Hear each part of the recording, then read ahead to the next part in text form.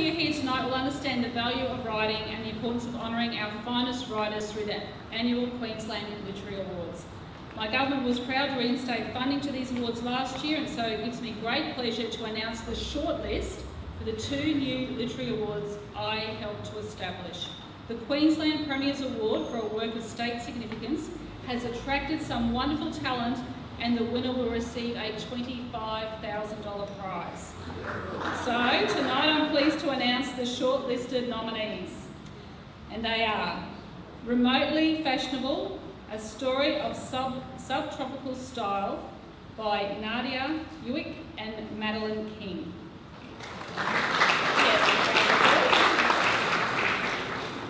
All Fall Down by Matthew Condon.